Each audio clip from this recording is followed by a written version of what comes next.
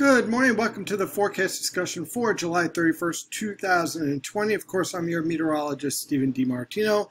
And of course, it's Friday. It's also a return of our maps as we got everything back in control. So thank God we got all that taken care of. And thank you for your patience. I really appreciate it. Now let's talk about our weather because this is getting pretty interesting. Currently, right now, we have a cold front that's slipping through the region. It was a stationary front earlier this morning. It's now a cold front as drier, cool air is trying to push south. It already has produced periods of heavy rainfall and rainfall amounts over an inch in many locations this morning, and it will continue to produce some rainfall through this morning. And then after that, we'll start to clear out this afternoon. So as we head towards the weekend, first half looks pretty good. Second half, eh, not so much. Temperatures this morning range from the mid to upper 60s over the far northern interior, talking about the Catskills, Poconos. Everyone else is basically around the lower to mid 70s and rather humid out there. We're going to take a look at one little surface map. This is called precipitable water values, and I just want to show this gradient here. This tells us how much dry air is building into the region. So when you start to see this, that means the dry air is pushing south, but we still have an awful lot of tropical moisture here lingering around central and southern New Jersey. And as a result, here's our radar with waves of showers and thunderstorms rotating through the region.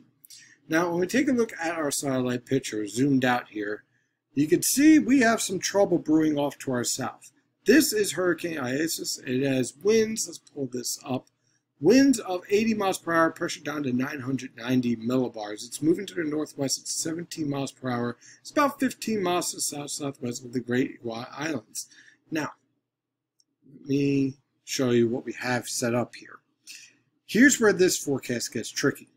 This trough is going to dig. This ridge is going to build. And in between is our hurricane. This hurricane is going to be forced to head up towards this area right here by the time we get to Sunday night and Monday. Now, with the trough off to our west and the ridge off to our east, you can kind of get the idea of where all this tropical moisture has been funneling up towards our region. Well, it's also going to funnel up things like tropical storms and hurricanes. And unfortunately, that is exactly what is going to be setting up here. Now, there's a lot we still don't know, okay? We still expect this hurricane to strengthen into a Category 2 hurricane, possibly stronger, maybe, uh, on through about Sunday morning. After Sunday morning, then it starts to interact with this trough and the potential for strengthening comes to an end, but it starts turning northward. As it return, as it turns northward, we have to see how far west it gets before it makes that turn north, because the further west it gets, there's more of an impact it'll have on our area by the time we get to Tuesday to Wednesday, which could actually be pretty significant Uh, especially if this storm cuts up through eastern North Carolina and then heads right towards us. The primary concern will be very heavy rainfall, but also you're going to have to prepare for some strong winds. Let's say at the very least tropical storm type winds sustained over 40 miles per hour and also coastal flooding. So if you're on the coast or if you're not on the coast, still be prepared. Just check your supplies this weekend so that way you're prepared for this storm as we look at Monday night Tuesday and Wednesday morning as impact time period. A little bit closer to home, oh, there's, here's a little bit closer to home, and you can see plenty of cloud cover today. We're not going to see much sun until later on in the afternoon as all of this dry air tries to push south. If you head up towards the Poconos, you'll see more sun, especially up towards the Catskills, but down towards the coast, pretty much a cloudy day with a threat for showers here and there. The bulk of your rainfall is going on this morning. And might as well just zoom in on our hurricane here. There it is. Not exactly the most organized hurricane right now. The center is down here. Okay. All your convection is pretty much to the north of it.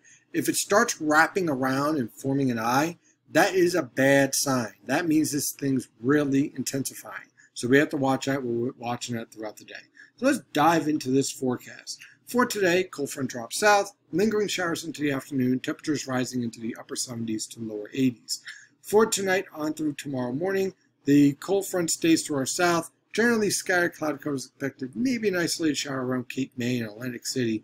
Look for low temperatures in the mid to upper 60s. For tomorrow afternoon, pretty much scattered cloud cover is expected. I think that the bulk of the rainfall is going to remain south and west of the region. So look for a dry day for most part tomorrow.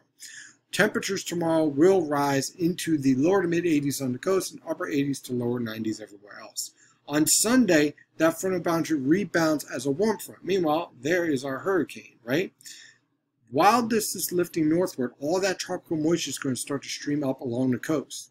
So there's going to be a threat on Sunday for scattered showers, and some of those showers will be capable of some very heavy downpours. Lows in the mid 70s, highs generally ranging from the lower to mid 80s on the immediate coast and upper 80s to lower 90s everywhere else. On Monday, that warm front's well to the north, the moisture from Isaias starts to strain, should I say, stream northward up along the coast ahead of this cold front. So not the bulk of the moisture, just a lot of tropical moisture. So isolated to widely scattered showers and thunderstorms, but those thunderstorms will be capable of very heavy downpours. Temperatures on Monday range from the upper 60s to lower 70s, high temperatures into the mid to upper 80s, and very tropical, so very humid.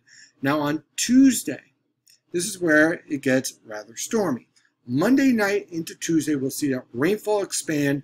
The core of this storm will be lifting up towards our coastal waters. Again, if it ends up, let's say, around here, then you could take the track right into the Jersey Shore. If it ends up, let's say, out towards the Outer Banks, then it remains over the coastal waters. And when you have a storm, the bulk of the storm remaining over the coastal waters, the impacts, of course, won't be as significant, but still be prepared for coastal flooding. So we'll have to watch the exact track of this storm. The worst impacts right now look to be on Tuesday. Very heavy downpours, strong winds, coastal flooding, you name it. Now on Wednesday morning, the cold front follows, so look for lingering showers and thunderstorms, heavy rainfall, continuing Tuesday night into Wednesday morning and then improving Wednesday afternoon. Temperatures through this time period. On Tuesday, temperatures basically stuck in the lower to mid 70s throughout the entire day, very tropical. By the time we get to Wednesday, lows in the mid 70s, highs in the lower to mid 80s. And then Thursday and Friday, high pressure and complete control, clear skies, much lower humidity, low temperatures in the upper 50s to mid 60s, high temperatures in the upper 70s to lower 80s. That is your forecast discussion for today. Of course, I'm your meteorologist, Stephen DiMartino. If you like these forecasts, please like, share, and subscribe. Let your friends and family know where you get your favorite weather information from. And if you're interested in more weather data and also the premium live coverage we'll be setting up as the storm approaches, definitely check out Premium Consulting Membership, only $11 a month. That is your forecast for today. Have a wonderful day, and as always, stay safe out there.